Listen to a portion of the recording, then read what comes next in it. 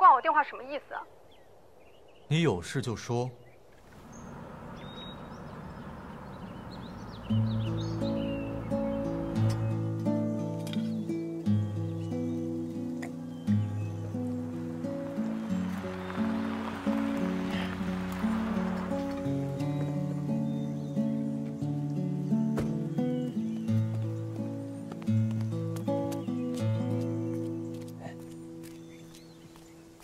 林总，你要的项目材料。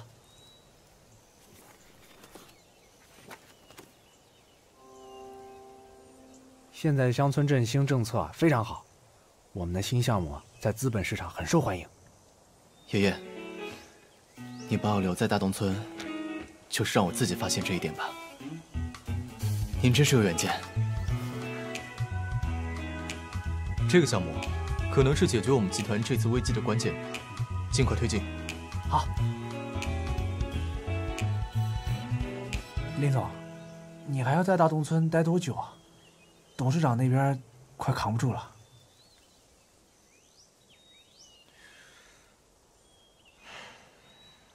现在业内已经开始传言说你们林氏不行了，你们的股票也跌得很厉害。你再不抓紧时间，我也帮不了你。好啊。那我们的约定取消吧。你可要想清楚，拒绝了我，你们林氏一定会完蛋。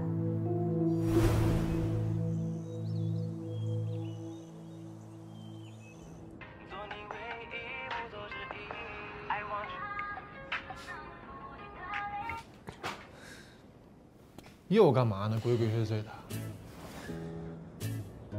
你搞清楚，这里是我的房间。你才搞清楚。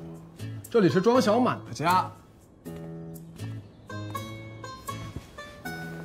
你还不是男主人，是不是？你说的算吗？你我说的都不算，要庄小满说的才算。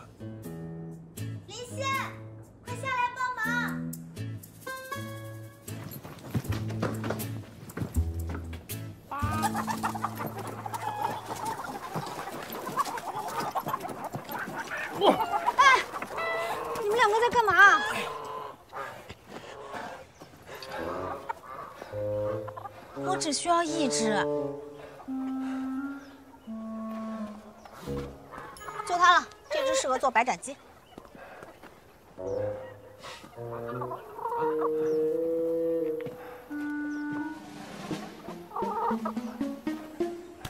没用的东西。